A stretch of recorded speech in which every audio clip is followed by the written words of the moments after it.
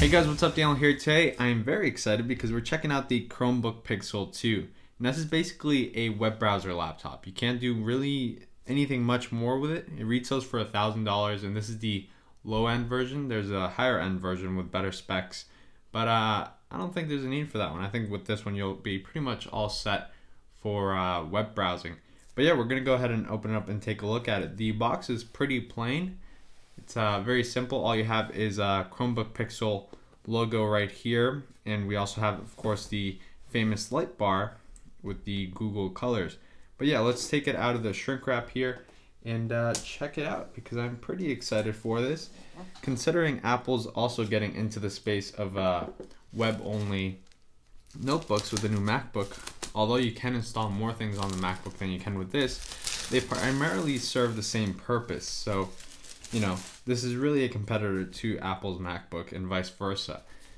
Uh, but yeah, let's go ahead and remove this, all this. It's a very heavy box, by the way. It's definitely not very light. It came in a very big cardboard box inside a box. So there's two boxes. So this thing was not going to break at all. The box was not going to get damaged. Of course, for a thousand dollars, you should expect that. But yeah, we uh, pull this up like so, and we get really nice packaging. Everything is, of course, really well packaged and, uh, of course, built. And we're first greeted with this beautiful laptop here, which by first impressions, it does weigh a good amount. I mean, it's a very solid laptop. It almost feels like a really solid piece of aluminum. But yeah, let's go ahead and put that to a side over here. And now it says, let's get started, power on, find network, log in or sign up, and then launch the apps. So you are going to need a Google account for this if you want to get it set up because it pretty much runs on a Chrome browser, which is uh, interesting, you know? Here we have the power, here we have the, oh, this is an extender, and then this is just the regular charger. We, of course, have the new USB-C type charger, which is, uh, you know, very interesting. You can do a lot of things with it, and uh, definitely better than the old chargers, and it's cool that more and more laptops are going to be using this now. But uh, yeah, that's all you get in the box. It's pretty simple, nothing, nothing all too special. What's important here, though, is the actual computer itself. What's great is that it's set to have a 12 hour battery life. So it's more than the new MacBook that Apple just announced. It's a little bit, in my opinion, nicer build quality. It just has a cleaner design. We don't have any Apple logo or anything like that. But yeah, let's go ahead and take it out of this sleeve here to uh, you know see the actual uh, Chromebook Pixel. But uh, yeah, you know it's very similar to an Apple product in the way that it's packaged, although Google has been doing that for quite some time now as well. All right, so here is the Chromebook Pixel itself. Of course, it's made out of aluminum. It's uh, faster than the previous model, has better specs, and uh, I mean, you of course have the new port over here. We have two USBs. We have a headphone jack on the left side. On the right side, we have an SD card reader and another USB-C type, it looks like. So uh, yeah, it definitely has a lot of ports, enough ports to, you know, get some work done and put some things. I know Apple has been getting a lot of slack for having put no ports on the new MacBook. But yeah, so this is an actual contender to this. If you're considering the new MacBook, then you definitely should be considering this new Chromebook. You you you're not really getting anything less nor anything more. If you're looking for something that just browses the internet where you can get work done, if you work online, then these laptops are going to be enough. I know a lot of people don't understand that and they say that this is a lot of money for a laptop, but uh, there's a lot of people that work only online and use only websites to get their work done. And these laptops do that while being very minimal, very nice, very cool build qualities, and uh, you know, we have this really nice keyboard here, which feels like a MacBook. I mean, you know, they, they feel just great. We have a little search button right here and, uh, you know, Chrome specific buttons right there. But yeah, basically I just uh, opened the computer and it turned on by itself. And uh, I guess it's doing an update and which is doing it pretty quickly. And yeah, I mean, the display is beautiful. I mean, it looks, you know, just like any high density display right now out in the market. And uh, it goes pretty bright too, which is nice. All right, so right now it's rebooting because it just installed the update. And uh, just in case you want to know some specs, this has an Intel Core i5, 8 gigabytes of RAM, a 32 gigabyte SSD, and uh, you can get it in an Intel Core i7, and that's the higher end model, which has 64 gigabyte SSD.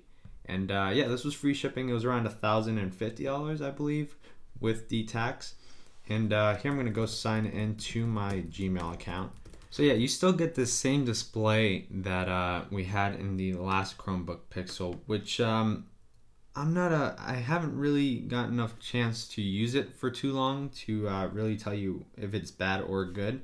But I've really always been a fan of the traditional, you know, not squared displays, just because uh, I like to watch videos and things like that. And uh, one of the things that a lot of people had problems with in the last Chromebook Pixel was actually watching YouTube videos or just movies in general. So I'm going to go ahead and open up YouTube here. And uh, everything should load pretty quickly. There shouldn't be any problems with the loading here. And I'm going to go ahead and put one of my latest videos because, uh, you know, just to check that out. Why not? And let's go ahead and skip through to see how quickly that skips through. And let's put that in 1080p and then we're going to full screen it. Everything seems really fast though. And yeah, everything seems to be working just, just fine. There doesn't seem to be any stuttering issues. Let's look for a 4K video. Uh, nature. Let's see that. Let's see what happens here. Okay, let's go ahead and put it in 4K. And uh, I think this is really important because you, if if you, if this will play fine, then uh, you know we shouldn't have any problems with other things. So let me go ahead and skip. We're 17 minutes into the video here to skip. And uh, it's buffering. Hopefully it does play it. And uh, I mean, yeah, so as I was saying, this is really good alternative or, you know, to Apple's new MacBook. If you're considering Apple's new MacBook, then you should really be considering this one right here. And uh, that's mainly because they're the same thing. You, of course, can install other things, maybe some games on the MacBook that you can't install here because this is only on web apps. I believe you can install Linux on this. I'm not going to get into that because I wouldn't want to install Linux on this. But uh, you can if you want to do a little bit more things with it. But primarily a web browser because a lot of people do just want to browse the web in a nice fashion and something that's not going to lag or have any trouble opening 18 tabs on Chrome. But uh, yeah, the video is playing just fine here. There is no stuttering. Of course, this is just still nature, but everything looks good. And it's, of course, 4K, so... Uh, um, and I also noticed the scrolling is reversed, kind of like on the how Apple does it. Yeah, you scroll up and it goes down, vice versa. And uh, yeah, I mean, everything just seems to work as it should. If you open your Chrome browser on any laptop, it's basically the same experience. But uh, you do get a few extra things here. I mean, the dock and everything looks kind of cool. It's all very minimal and simple. You can, of course, change the, the wallpapers. If you've used uh, Chrome OS before in the cheaper laptops, it's basically the exact same thing. And everything just looks great, works great, and you shouldn't have any problem with it. And I believe that you know you, you, you are probably going to get the 10 or 12 hours that Google says has a better battery life than the new MacBook, as I mentioned.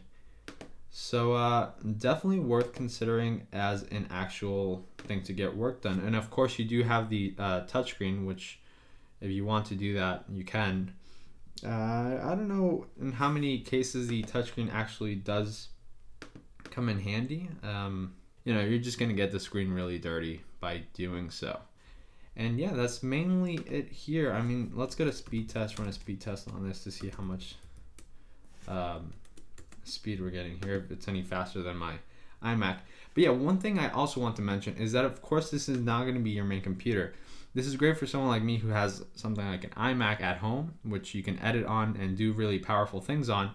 But this is not great for someone who needs something to get different types of work done. So if you need Photoshop, if you need After Effects, if you need all those things, this is not going to work at all. Like just run away from these laptops, even the new MacBook. But uh, if you have already a desktop computer, a powerful machine at home, and you just need a secondary computer for work on the go, at school, wherever it may be, then it's where these laptops come in that make a lot of sense. And this is getting pretty much the exact same thing that I did with my other laptops, although this is pretty much where it stops. But uh, yeah, that is that, guys. There's not much to it. Everything runs smoothly as you would expect. Of course, I'm going to be testing this out, and I'll probably do a full review on this. And uh, yeah, keyboard feels nice. The trackpad, of course, everything is great. It's the quality you would expect. The hinge is nice. You don't have to hold the laptop down to open it. Of course, it's going to slide right here on this table, but uh, it opens very nicely. And uh, you of course get the light bar here that lights up when uh, you know you do several things. You can double tap here and it'll give you the battery status, which is you know very cool and futuristic. What I like most about this is you got no logos. It's very simple laptop, and uh, for any minimalists out there, you're gonna really appreciate Google's design. But yeah, guys, that's it for this video. If you have any questions on this laptop, feel free and leave a comment down below, and I'll get back to you as soon as I can. Other than that, that's it for this video, and I will catch you guys in the next one. Goodbye.